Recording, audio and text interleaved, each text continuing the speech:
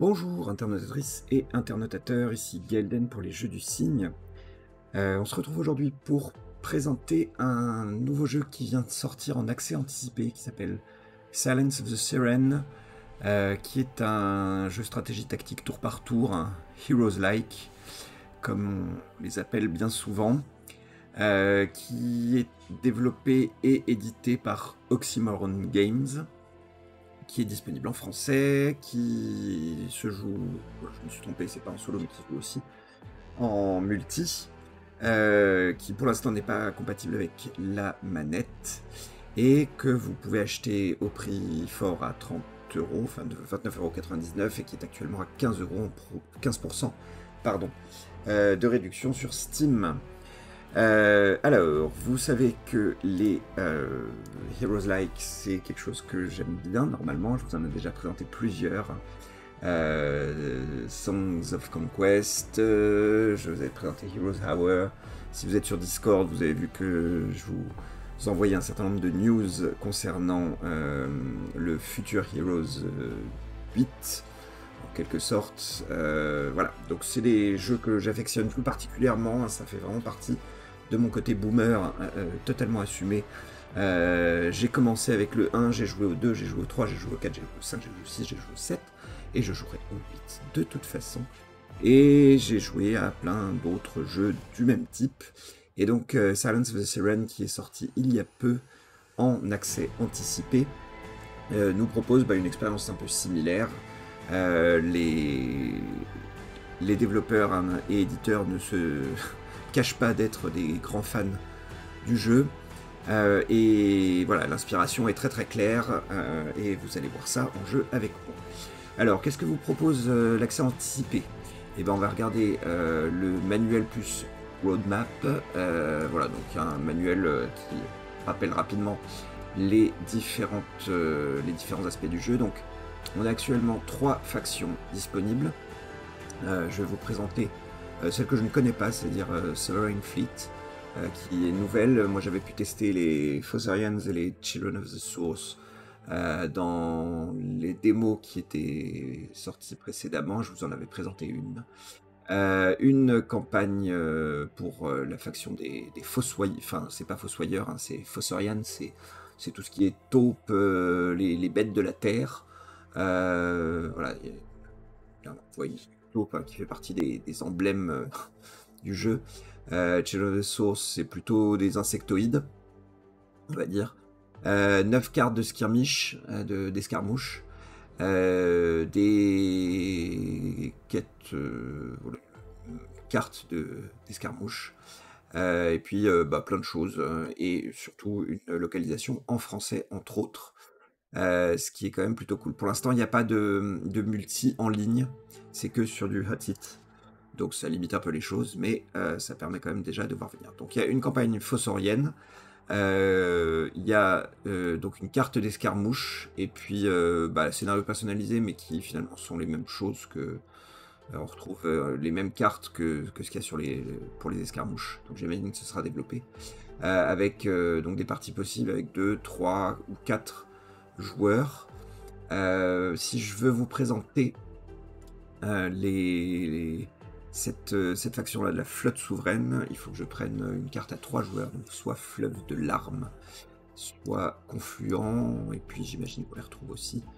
Euh, donc, qu'est-ce que on peut avoir? Donc, on a une sélection de héros différents. vous avez, vous allez pouvoir vous battre contre un peu qui vous voulez. Donc comme je les connais pas du tout, chaque, euh, chaque héros se présente avec une sélection de troupes initiales et un talent. Donc bagarreur c'est plutôt orienté CAC. Euh, lui c'est plutôt orienté, euh, c'est les, compétences actives, les, sorts en quelque sorte. collecteur c'est pour récupérer des, plus d'objets, possibilité d'utiliser plus d'objets, explorateur qui ira plus vite. Euh, négociateur qui va pouvoir récupérer des troupes au début de chaque combat. Maître de l'échiquier qui pourra se déployer différemment. Recycleur, ce sera pour récupérer des ressources. Tiens, c'est marrant, il y a une tête de fossoyeur. C'est un, traître. Euh, Globetrotter, c'est les compétences actives sur la carte. Euh, tireur d'élite, c'est un bonus au tir. Euh, architecte, ça permet de diminuer le coût des bâtiments. Biotique, c'est des compétences actives plutôt orientées euh, bio. Décos, est-ce que je confonds? Est-ce que je confonds avec ingénieur? Je sais plus lequel des deux. Il y en a un, celui-là ça va être pour récupérer des points d'énergie. Je sais plus. Euh, voilà, moi j'aime euh, toujours bien jouer euh, tireur. Donc on va jouer tireur d'élite avec trois...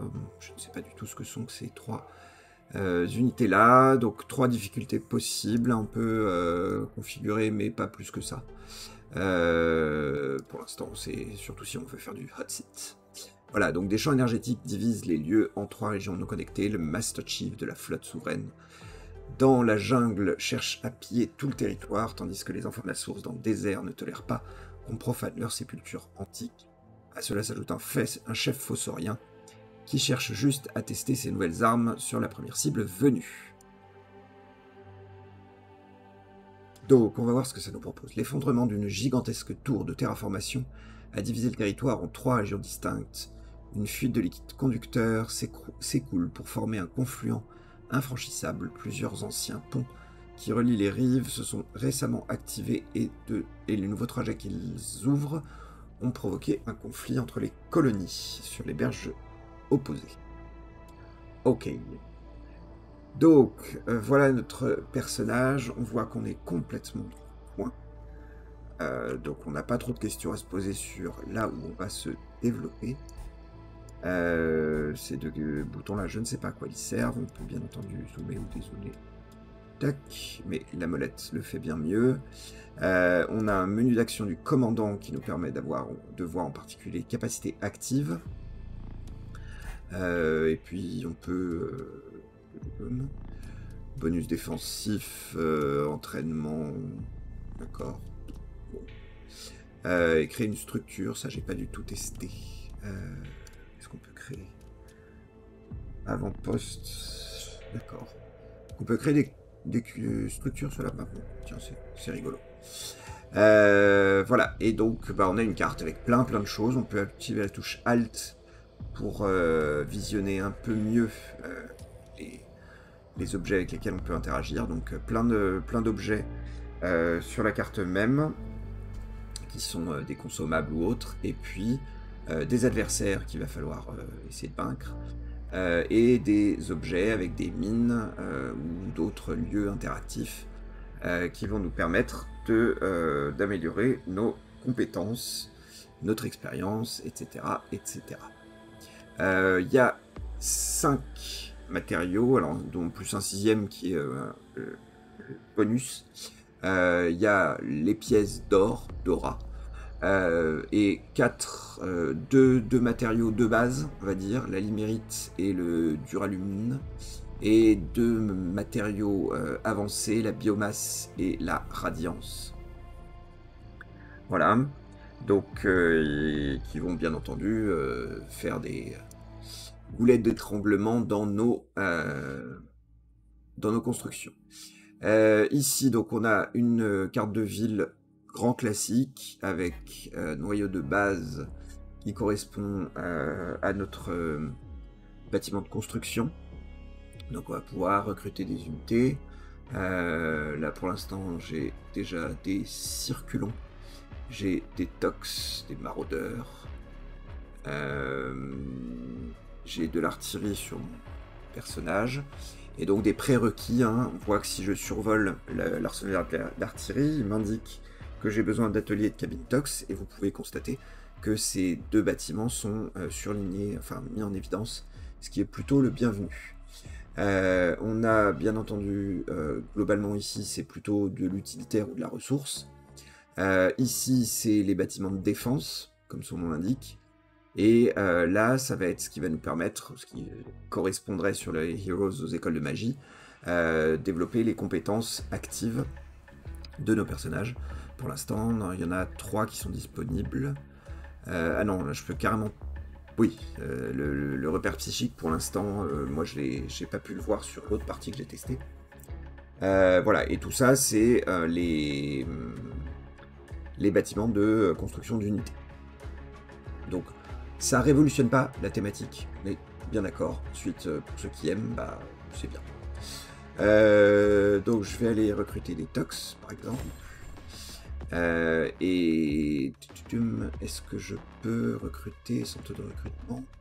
Voilà, je peux recruter un, autre commandant qui va me permettre d'avoir d'autres troupes. Alors, je vois que je peux recruter également.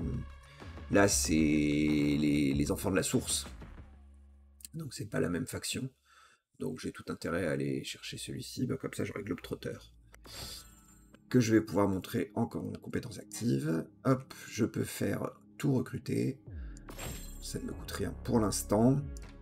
Il faut savoir qu'il y a pas mal de troupes de base euh, qui nécessitent d'avoir des... qui consomment euh, des matériaux. Voilà, on a un cycle de 4 jours, donc ça veut dire que tous les 4 tours, euh, les, unités sont de nouveau produites. Qu'est-ce que j'oublie au niveau de l'interface? Voilà, vous pouvez accélérer bien entendu les animations. Euh, je oui, je l'ai pas dit tout à l'heure, mais donc il y a le noyau à fusion qui lui euh, sert de va vous permettre de construire n'importe quel bâtiment, quel que soit son prix. Euh, autant dire que vous en aurez pas beaucoup dans la partie. objectif de mission battre tous les ennemis, comme c'est original. voilà, et puis accès au menu. pour l'instant, pas grand chose, mais voilà, voilà. et puis, bah, ensuite, bah, c'est du Heroes Like, donc je vais. Non, c'est pas ça que je voulais faire. C'est clic gauche pour déplacer les troupes, des petits boutons qui vous permettent euh, de déplacer rapidement. Euh, positionner vos troupes, c'est important. Euh, qu'est-ce qui va vite? Mouvement 9, initiative 4, 6 initiative, initiative 5, 8. Là, j'imagine que ça va lentement. Ah non, ça agit rapidement mais ça se déplace très peu. Euh, donc je vais mettre cela pas loin en protection. je vais le mettre plutôt comme ça.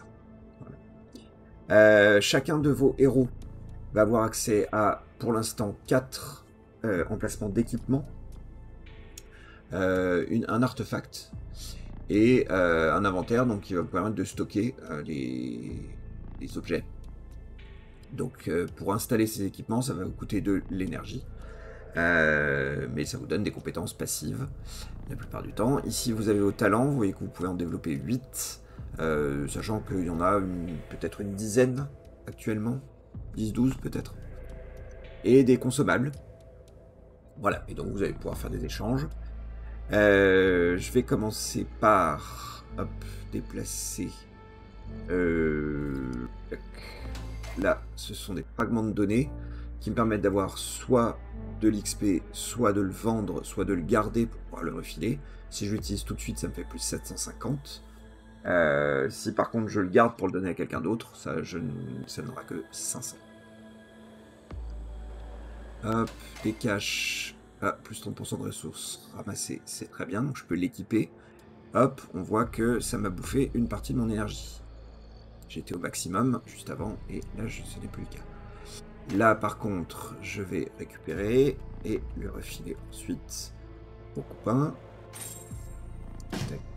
Voilà, et donc là j'ai un level up sur mon deuxième héros, donc je suis pas maintenant niveau 2.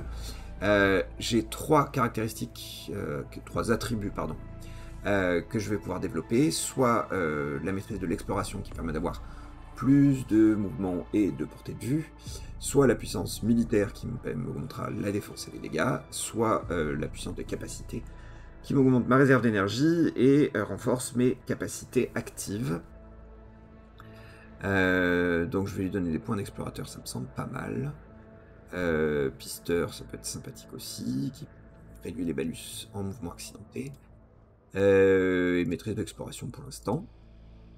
Alors, je suis pas allé voir, mais donc là j'ai une compétence donc active il s'appelle euh, Découvre des, euh, afficher les trésors, découvre immédiatement les objets précieux aux alentours du commandant et découvre des coffres.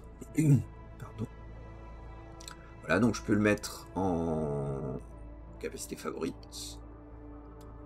Voilà. Je l'ai mis en capacité favorite. Du coup, maintenant, si je fais un clic gauche, tac, Et je le vois, je vois apparaître la compétence ici, c'est plutôt pratique. Hop, ça fait, ça met en évidence les différents trucs. C'est pas fondamental, mais... Hop, donc là, le consommable de mouvement, je vais le filer à mon chef.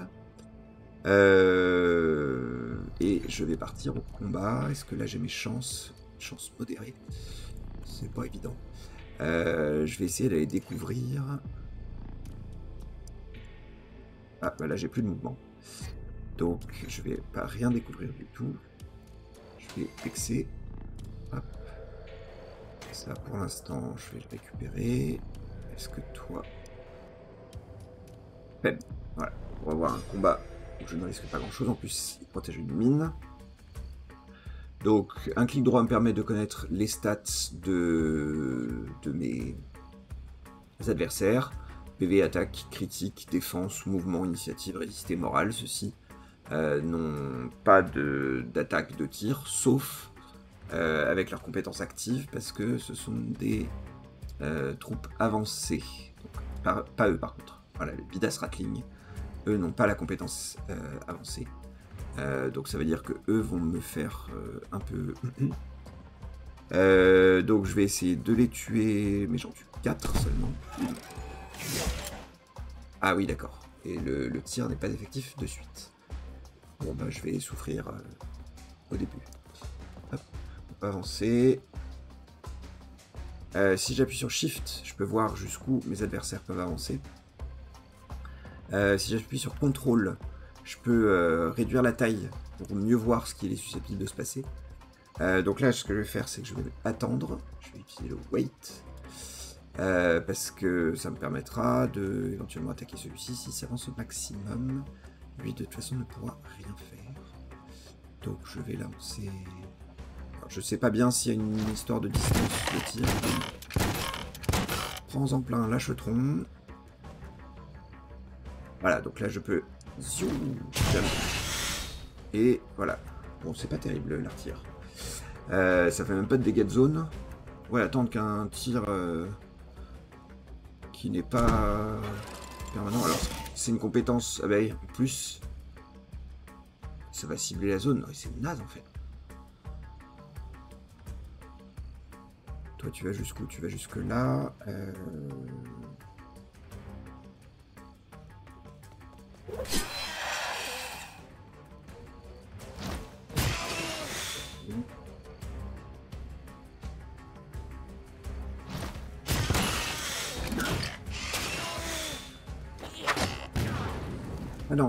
fait, ils peuvent se déplacer à chaque tour.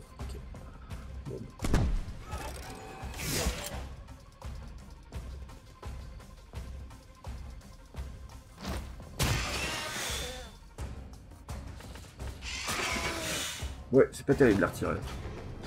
Ouais, j'ai quand même perdu pas mal de monde. Pour un combat où je ne risquais pas grand chose. Euh, recycleur, c'est toujours pratique, ça permet de récupérer des... Ouais, des, matériaux euh, en combat. Et de toute façon, le matériau, c'est le nerf de la guerre.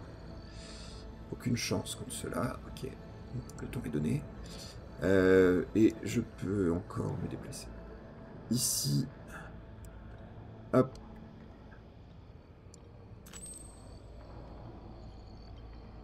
Un tour.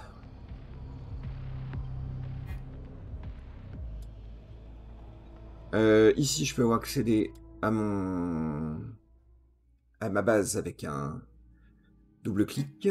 Euh, donc je vais pouvoir bah, améliorer mes troupes. J'ose espérer que... Euh, vous pouvez construire ce bâtiment, construire des postes de soins pour vos armées. Euh, je vais faire ça qui me permettra de générer du cash tous les tours.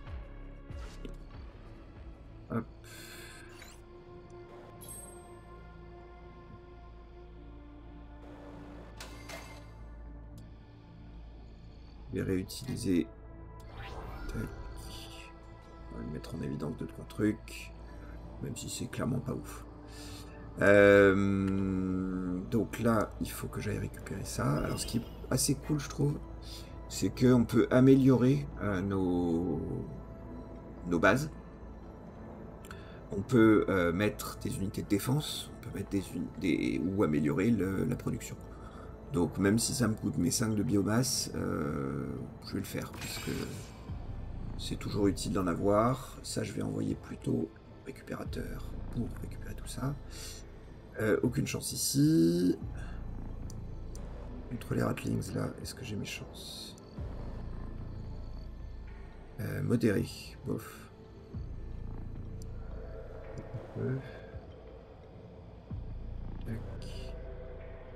Modéré. Mhm.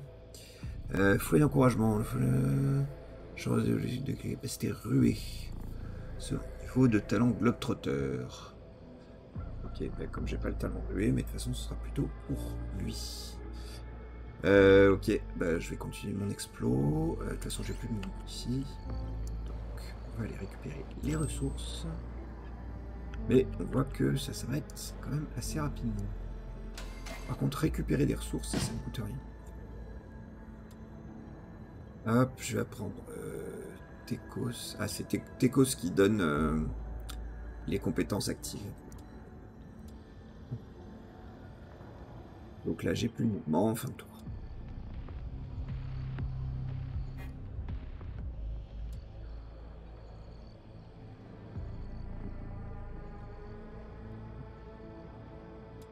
Je fais...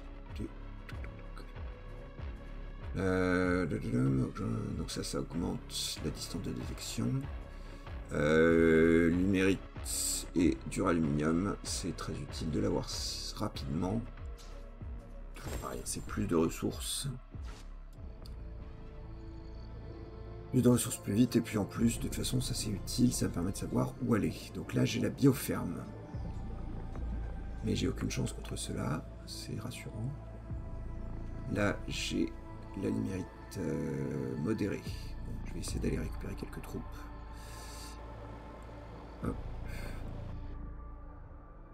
Mais ce sera pour le prochain tour.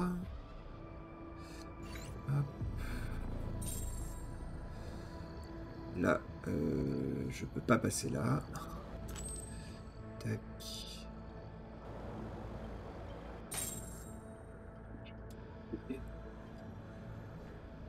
Euh... Hmm.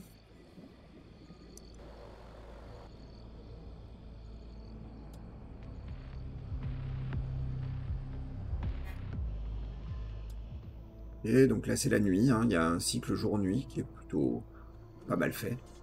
Euh, c'est dommage parce que mes unités supplémentaires je les aurai au prochain tour. Là je peux les récupérer de la biomasse. Là j'ai un autre poste de guet que je peux également amélioré contre des souffles. Hop.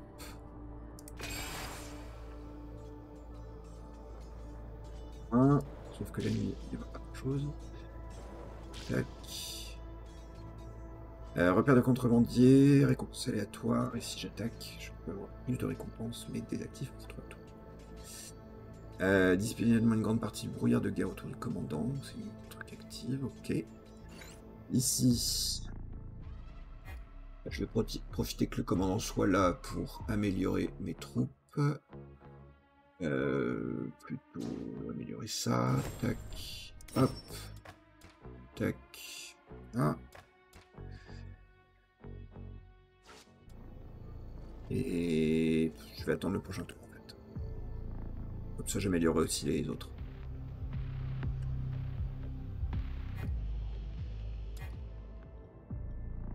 Hop, voilà, cycle normal, rien d'aussi vite. Et je vois que j'ai...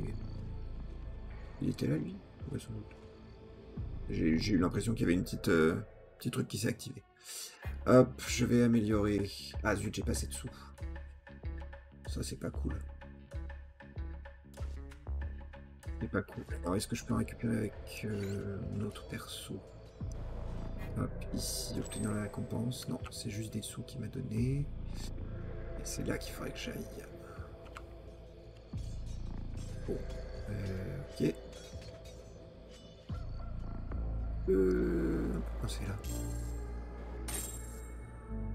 Euh, Je vais l'utiliser tout de suite.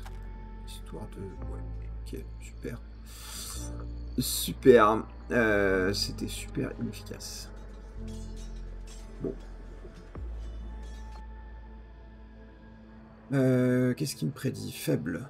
Allez, on va essayer d'aller là, et contre eux, aucune chance. En plus, ça, ça tire de loin.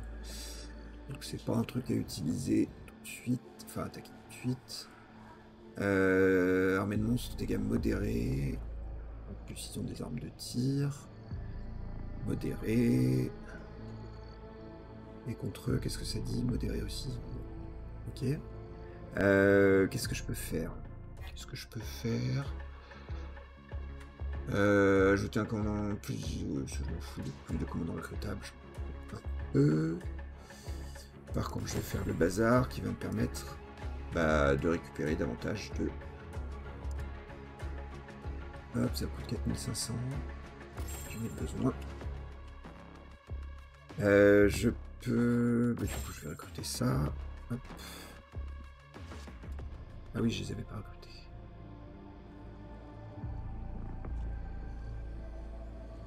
Là, c'est mon truc avancé.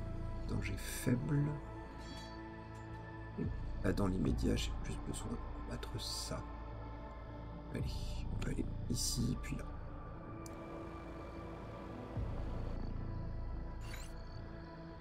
Euh, à quoi tu sers? Pourquoi t'es là?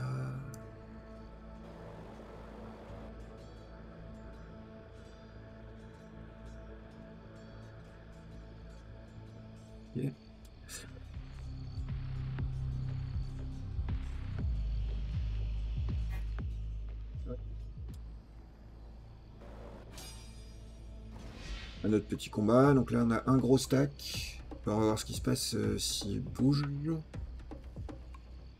Ou sinon, j'attends, je le fais à la fin. Bon, on va voir ce qui se passe. Qu'est-ce qui se passe s'il bouge C'est ça comme un debuff. Hop. Attendre. Ah oui. Ben, ça me rassure un peu. Euh... Je vais faire un tour. De toute façon, il risque de me faire mal. Ah, moins 10. Ouf.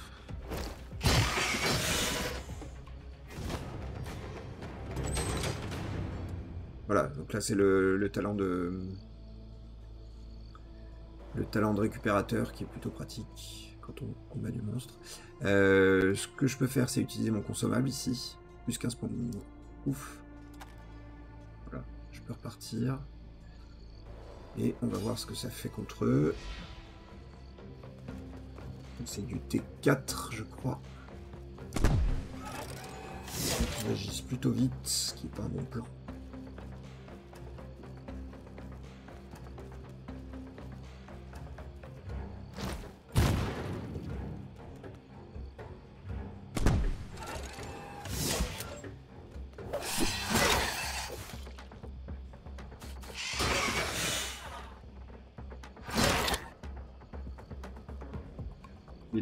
Des dégâts avant. Il peut sauter par-dessus l'obstacle. Contre-attaque avant même de se faire toucher. Ah ouais, c'est sympa ça.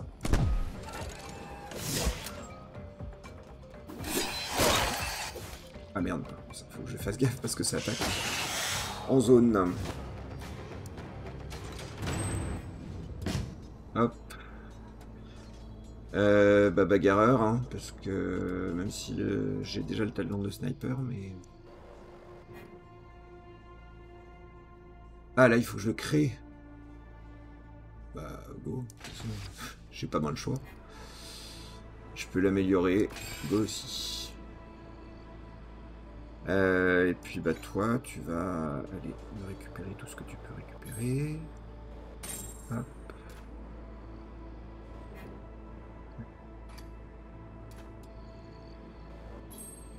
Qu'est-ce que ça fait ça? Le commandant en visite peut oublier un talent. Ok. Je vais pas pouvoir le récupérer. Euh, redonne le maximum de points d'énergie. Passer du bon temps pour bo- booster le moral. Bah ouais. Ah zut, j'avais une cache d'objet mystérieux. Euh... C'est un peu dur comme euh, début. C'est un peu dur. Là, ceci dit, il faudra que j'y aille. Hop, fin de tour.